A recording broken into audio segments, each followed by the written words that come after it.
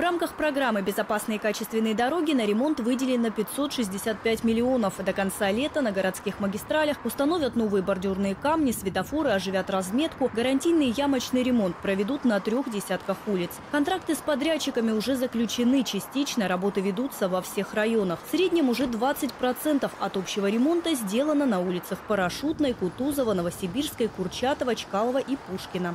Это улица Естинская. Капитального ремонта здесь не было почти 10 лет. И в этом году это единственная дорога, которую откапиталят полностью. Остальные дороги ожидают только ямочный ремонт и замена бордюрного камня.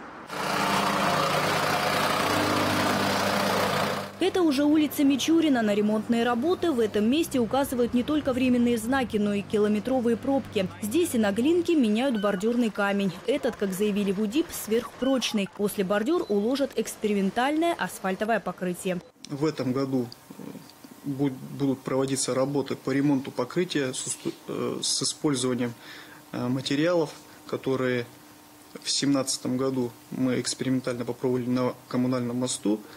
В этом году мы планируем реализовать э, и использовать материалы, такой как щебеночно-мастичный асфальтобетон по улице Глинки и улице Мичурина. В связи с летним ремонтом не избежать заторов. Уже сейчас перекрыты для движения транспорта улицы Вавилова от Якорного до Затонской. А с 14 июня водителей ждет еще ряд ограничений.